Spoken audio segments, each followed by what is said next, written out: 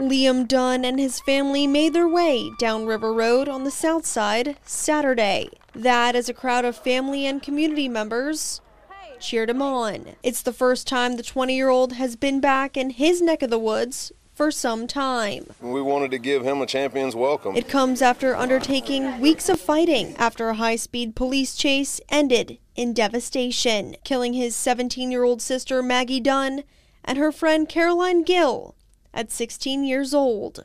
The 20 year old was the only survivor in that car. Spending weeks in a coma and after a difficult surgery, he made it out. His resilience is something many noticed. It's only been about 10 days or so since his surgery, and he's already coming home.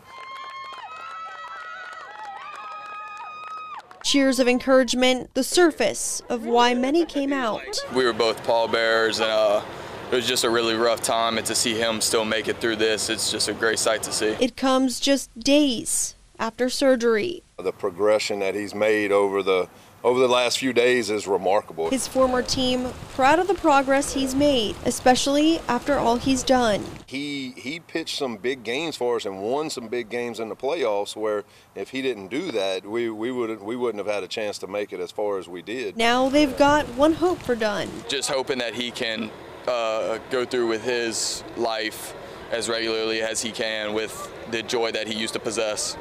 The team is trying to ensure that. We're going to dedicate our season to both the Dunn and the Gill families. With how far he's come, they're ready to take him even further. We're hoping to have him throw out the first pitch. Seeing him heading home isn't the only great sight players and his family hope to see soon. It's going to be a great sight to see him back on the field, too. Callista Matrician, WBRZ News 2.